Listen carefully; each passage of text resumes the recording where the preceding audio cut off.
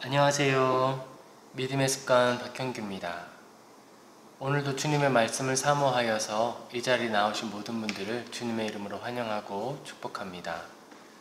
오늘날 우리에게 가장 필요한 것은 바로 그 마음일 것 같아요. 순수하게 하나님을 바라고 미련하리 많지 예수님을 사랑하고 많은 어떤 자랑할 것을 덧붙이기보다는 예수님의 이름을 가슴에 달고 무욕이 있더라도 정직한 자리에 머무는 것과 연약해 보이고 세상에 망하는 자 같이 보이더라도 그저 그 순수한 복음을 살아내려 하는 노력, 그런 고백적 삶의 자세가 우리에게 가장 필요한 시간이 아닌가 어, 그런 생각을 해봅니다. 우리는 계속해서 예레미야서를 읽고 있습니다. 예레미야서를 통해서 우리가 발견하고자 하는 것이 있다면 심판받는 이스라엘을 바라보시는 하나님의 마음은 어떠셨을까? 고난을 통해 하나님을 바라보게 되는 이스라엘의 그 마음은 어땠을까? 이런 질문을 하게 되죠. 지금 이 시대를 살아가는 우리들도 마찬가지 아닐까 생각해 봅니다. 우리들도 고난을 렌즈를 통하여서 교회를 바라보게 되었고, 우리의 자랑과 우리가 높이던 것들을 내려놓은 상태에서 다시 한번 내 믿음을 점검하고 하나님 앞에 나는 어떻게 서 있는지 생각해 보게 되는 것 같아요. 저를 이 시간을 통하여서 우리가 아, 하나님 앞에 나는 이런 사람이었구나 하고 발견하는 시간이 되었으면 좋겠습니다. 우리는 하나님을 사랑하는 사람이죠. 그런데 우리의 믿음이 어디서부터 왔는지 혹시 기억나시나요? 우리의 믿음은 내가 참 교회를 불편히 하던 사람이었을 때 예수님의 이름을 전해주던 그 한 분의 섬김을 따라 왔습니다. 당시에는 그게 어떤 의미였는지 어떤 가치가 있었는지 잘 알 수 없었어요. 그런데 어느 날 그분의 기다리는 그 모습이 내 마음을 두드렸습니다. 그 기다림이 예수님의 부르심, 그 부르심으로 다가왔어요. 물론 그 모습은 예수님의 모습을 가장 완벽한 모형으로 가지고 있는 것이죠. 제자들이 십자가에 달린 예수님을 두고 다 떠나서 다시 고기 잡으러 가던 그때 고기를 밤새 잡고 돌아오는 이들 그 허탈한 마음을 채워주신 하나님의 도우심 그리고 예수님의 따뜻하게 구워놓은 떡과 모닥불 그 예수님의 섬김을 본받아서 오늘 우리가 성경을 읽고 또 기다리고 미련하리 많지 정직하고 바른 모습으로 나아갈 수 있기를 기도하며 오늘도 이 자리에 섭니다. 늘 도전이고 이겨내야 할 시련이 우리에게 늘 있지만 그리고 그 시련에 늘 이겨내는 것은 아니지만 그래도 하나님의 신실하심과 은혜를 구하고 또 기대하며 오늘 하루를 전진합니다. 오늘 우리가 같이 살펴볼 성경 본문 말씀은 예레미야 22장에서 24장입니다. 성경 읽을 때에 하나님께서 깨닫게 하시고 우리에게 지혜 주시고 하나님의 마음 알려주시기를 기도합니다. 여호와께서 이와 같이 말씀하시되 너는 유다 왕의 집에 내려가서 거기에서 이 말을 선언하여 이르기를 다윗의 왕위에 앉은 유다 왕이여 너와 내 산하와 이 문들로 들어오는 내 백성은 여호와의 말씀을 들을지니라 여호와께서 이와 같이 말씀하시되 너희가 정의와 공의를 행하여 탈취당한 자를 압박하는 자의 손에서 건지고 이방인과 고아와 과부를 압제하거나 학대하지 말며 이곳에서 무지한 비를 흘리지 말라. 너희가 참으로 이 말을 준행하면 다윗의 왕위에 앉을 왕들과 신하들과 백성이 병거와 말을 타고 이 집 문으로 들어오게 되리라. 그러나 너희가 이 말을 듣지 아니하면 내가 나를 두고 맹세하노니 이 집이 황폐하리라. 여호와의 말씀이니라. 여호와께서 유다 왕의 집에 대하여 이와 같이 말씀하시니라. 네가 나에게 길르앗 같고 레바논의 머리이나 내가 반드시 너로 광야와 주민이 없는 성읍을 만들 것이라. 내가 너를 파멸할 자를 준비하리니 그들이 각기 손에 무기를 가지고 내 아름다운 백향목을 찍어 불에 던지리라. 여러 민족들이 이 성읍으로 지나가며 서로 말하기를 여호와가 이 큰 성읍에 이같이 행함은 어찌 됨인고 하겠고 그들이 대답하기는 이는 그들이 자기 하나님 여호와의 언약을 버리고 다른 신들에게 절하고 그를 섬긴 까닭이라 하셨다 할지니라. 너희는 죽은 자를 위하여 울지 말며 그를 위하여 애통하지 말고 잡혀간 자를 위하여 슬피 올라 그는 다시 돌아와 그 고국을 보지 못할 것임이라. 여호와께서 유다 왕 요시아의 아들 곧 그의 아버지 요시아를 이어 왕이 되었다가 이곳에서 나간 살룸에 대하여 이와 같이 말씀하시니라. 그가 이곳으로 다시 돌아오지 못하고 잡혀간 곳에서 그가 거기서 죽으리니 이 땅을 다시 보지 못하리라. 불의로 그 집을 세우며 부정하게 그 다락방을 지으며 자기의 이웃을 고용하고 그의 품삯을 주지 아니하는 자에게 화 있을진저 그가 이르기를 내가 나를 위하여 큰 집과 넓은 다락방을 지으리라 하고 자기를 위하여 창문을 만들고 그것에 백향목으로 입히고 붉은 빛으로 칠하도다. 네가 백향목을 많이 사용하여 왕이 될 수 있겠느냐? 내 아버지가 먹거나 마시지 아니하였으며 정의와 공의를 행하지 아니하였느냐? 그때에 그가 형통하였었느니라. 그는 가난한 자와 궁핍한 자를 변호하고 형통하였나니 이것이 나를 알미 아니냐 여호와의 말씀이니라. 그러나 너의 두 눈과 마음은 탐욕과 무관한 피를 흘림으로 압박과 포악을 행하려 할 뿐이니라. 그러므로 여호와께서 유다의 왕 요시아의 아들 유다의 왕 요시아의 아들 여호야김에게 대하여 이와 같이 말씀하시니라. 무리가 그를 위하여 슬프다 내 형제여 슬프다 내 자매여 하며 통곡하지 아니할 것이며 그를 위하여 슬프다 주여 슬프다 그 영광이여 하며 통곡하지도 아니할 것이라. 그가 끌려 예루살렘 문 밖에 던져지고 나귀같이 매장함을 당하리라. 너는 레바논에 올라 외치며 바산에서 너의 소리를 높이며 아바림에서 외치라. 이는 너를 사랑하는 자가 다 멸망하였습니다. 내가 평안할 때에 내가 너에게 말하였으나 너의 말이 나는 듣지 아니하리라 하였나니 내가 어려서부터 나의 목소리를 청종하지 아니함이 너의 습관이라. 너의 목자들은 다 바람에 삼켜질 것이요. 너를 사랑하는 자들은 사로잡혀 가리니 그때에 내가 반드시 내 모든 악 때문에 수치와 욕을 당하리라. 레바논에 살면서 백향목에 깃들이는 자여 여인이 해산하는 고통 같은 고통이 내게 임할 때에 너의 가련함이 얼마나 심하랴. 여호와의 말씀이니라. 나의 삶으로 맹세하노니 유다 왕 여호야김의 아들 고니야가 나의 오른산에 여호와의 말씀이니라. 나의 삶으로 맹세하노니 유다 왕 여호야김의 아들 고니야가 나의 오른손에 인장 반지라 할지라도 내가 빼어 너의 생명을 찾는 자의 손과 네가 두려워하는 자의 손 곧 바벨론의 왕 느부갓네살의 손과 갈대아인의 손에 줄 것이라.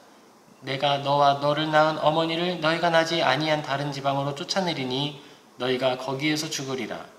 그들이 그들의 마음에 돌아오기를 사모하는 땅에 돌아오지 못하리라. 그 사람 고니하는 천하고 깨진 그릇이냐? 좋아하지 아니하는 그릇이냐? 어찌하여 그와 그의 자손이 쫓겨나서 알지 못하는 땅에 들어갔는고? 땅이여 땅이여 땅이여 여호와의 말을 들을지니라 여호와께서 이와 같이 말씀하시니라 너희는 이 사람이 자식이 없겠고 그의 평생 동안 형통하지 못할 자라 기록하라. 이는 그의 자손 중 형통하여 다윗의 왕위에 앉아 유다를 다스릴 사람이 다시는 없을 것임이라 하시니라. 예레미야 23장. 여호와의 말씀이니라. 내 목장의 양떼를 멸하며 흩어지게 하는 목자에게 화 있으리라. 그러므로 이스라엘의 하나님 여호와께서 내 백성을 기르는 목자에게 이와 같이 말씀하시니라. 너희가 내 양떼를 흩으며 그것을 몰아내고 돌보지 아니하였도다. 보라 내가 너희의 악행 때문에 너희에게 보응하리라 여호와의 말씀이니라. 내가 내 양떼에 남은 것을 그 몰려갔던 모든 지방에서 모아 다시 그 우리로 돌아오게 하리니 그들의 생육이 번성할 것이며 내가 그들을 기르는 목자들을 그들 위에 세우리니 그들이 다시는 두려워하거나 놀라거나 잃어버리지 아니하리라. 여호와의 말씀이니라. 여호와의 말씀이니라. 보라 때가 이르리니 내가 다윗에게 한 의로운 가지를 일으킬 것이라. 그가 왕이 되어 지혜롭게 다스리며 세상에서 정의와 공의를 행할 것이며 그의 날에 유다는 구원을 받겠고 이스라엘은 평안히 살 것이며 그의 이름은 여호와 우리의 공이라 일컬음을 받으리라. 그러므로 여호와의 말씀이니라. 보라, 날이 이르리니 그들이 다시는 이스라엘 자손을 애굽 땅에서 인도하여 내신 여호와의 사심으로 맹세하지 아니하고 이스라엘 집 자손을 북쪽 땅 그 모든 쫓겨났던 나라에서 인도하여 내신 여호와의 사심으로 맹세할 것이며 그들이 자기 땅에 살리라 하시니라. 선지자들에 대한 말씀이라. 내 마음이 상하며 내 모든 뼈가 떨리게 내 마음이 상하며 내 모든 뼈가 떨리며 내가 취한 사람 같으며 포도주에 잡힌 사람 같으니 이는 여호와의 그 거룩한 말씀 때문이라. 이 땅에 가늠하는 자가 가득하도다. 저주로 말미암아 땅이 슬퍼하며 광야의 초장들이 마르나니 그들의 행위가 악하고 힘쓰는 것이 정직하지 못함이로다. 여호와의 말씀이니라. 선지자와 제사장이 다 사악한지라 내가 내 집에서도 그들의 악을 발견하였노라. 그러므로 그들이 그러므로 그들의 길이 그들에게 어두운 가운데 미끄러운 곳과 같이 되고 그들이 밀어냄을 당하여 그 길에 엎드러질 것이라. 그들을 벌하는 해에 내가 그들에게 재앙을 내리리라. 여호와의 말씀이니라. 내가 사마리아 선지자들 가운데 우매함을 보았나니 그들은 바알을 의지하고 예언하여 내 백성 이스라엘을 그릇되게 하였고 내가 예루살렘 선지자들 가운데도 가증한 일을 보았나니 그들은 간음을 행하며 거짓을 말하며 악을 행하는 자의 손을 강하게 하여 사람으로 그 악에서 돌이킴이 없게 하였은즉 그들은 다 내 앞에서 소돔과 다름이 없고 그 주민은 고무라와 다름이 없느니라. 그러므로 만군의 여호와께서 선지자에 대하여 이와 같이 말씀하시니라. 보라, 내가 그들에게 쑥을 먹이며 독한 물을 마시게 하리니 이는 사악이 예루살렘 선지자들로부터 나와서 온 땅에 퍼짐이라 하시니라. 만군의 여호와께서 이와 같이 말씀하시되 너희에게 예언하는 선지자들의 말을 듣지 말라. 그들은 너희에게 헛된 것을 가르치나니 그들이 말한 묵시는 자기 마음으로 말미암은 것이요 여호와 입에서 나온 것이 아니니라. 항상 그들이 나를 멸시하는 자에게 이르기를 너희가 평안하리라 여호와의 말씀이니라 하며 또 자기 마음이 완악한 대로 행하는 모든 사람에게 이르기를 재앙이 너에게 임하지 아니하리라 하였느니라. 누가 여호와의 회의에 참여하여 그 말을 알아들었으며 누가 귀를 기울여 그 말을 들었느냐? 보라 여호와의 노여움이 일어나 폭풍과 회오리 바람처럼 악인의 머리를 칠 것이라. 여호와의 진노가 내 마음에 뜻하는 바를 행하여 이르기까지는 그치지 아니하나니 너희가 끝날에 그것을 완전히 깨달으리라.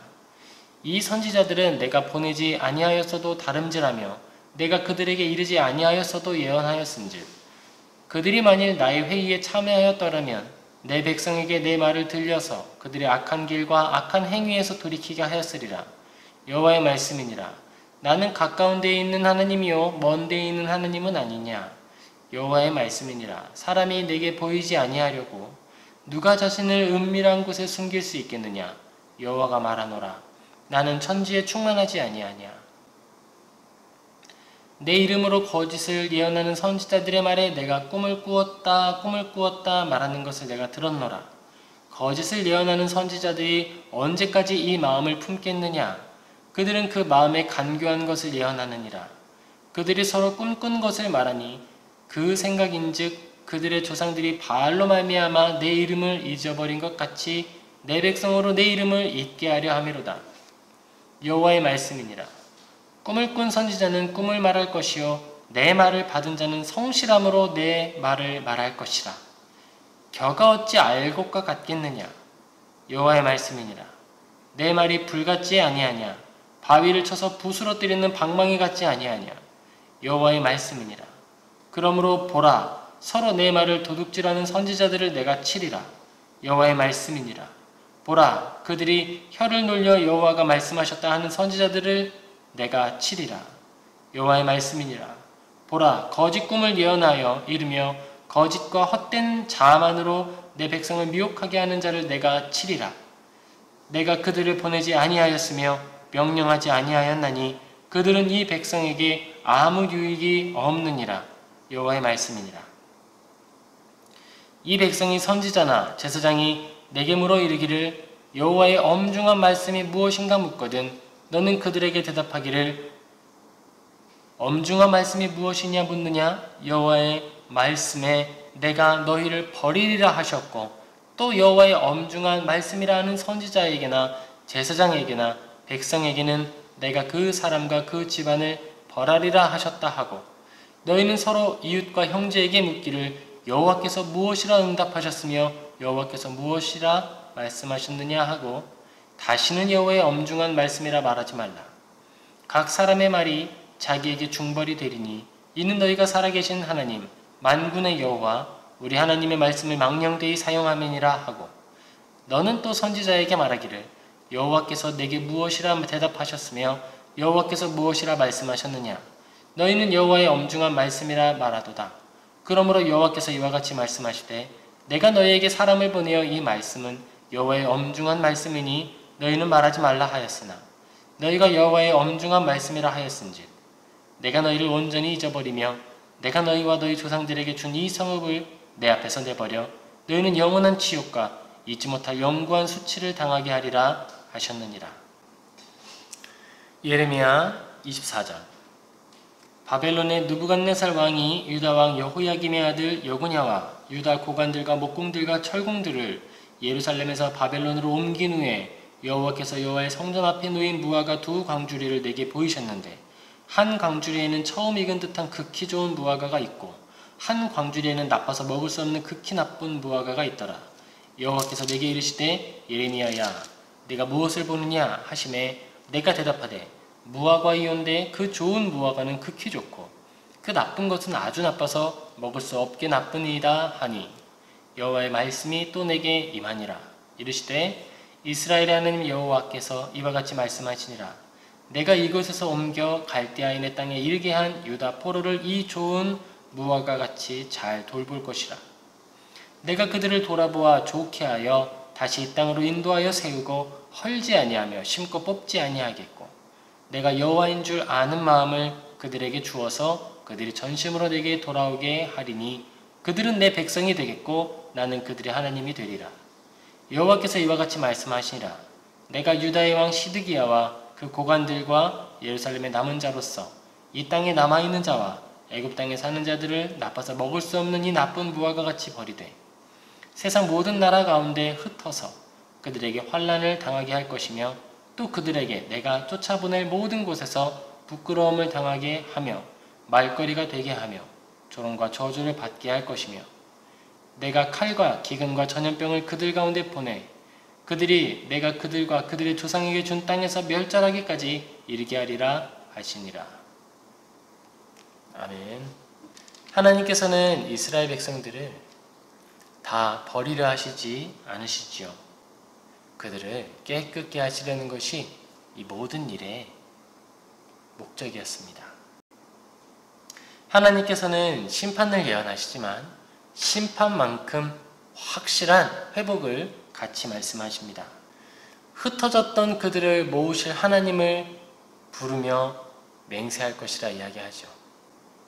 그만큼 하나님께서는 이제 이스라엘을 정결하게 하시며 하나님의 마음에 합한 자들로 만들어가기를 원하신다라는 겁니다. 우리는 하나님의 하나님의 그런 뜻 안에 머물러 있습니다. 하나님께서 낮추실 때가 있어요. 예레미야의 시대에 하나님께 순종하는 자들은 낮추시는 하나님의 손에 순종함으로 낮아지는 자들이었습니다. 하나님이 낮추실 때에는요, 낮아지는 거예요. 그러면 하나님께서 높이실 때에 다시 우리를 그의 손에 쥐어 주실 것입니다. 우리도 그렇습니다. 잠시 우리가 낮아지는 시간을 보내지만 이것이 끝이 아니라 회복을 향한 준비임을 기억하고 오늘도 정직하고 바르게 하나님이 기뻐하는 그리스도인의 여정을 감당하는 저와 우리 모두 되기를 축복합니다. 기도하겠습니다.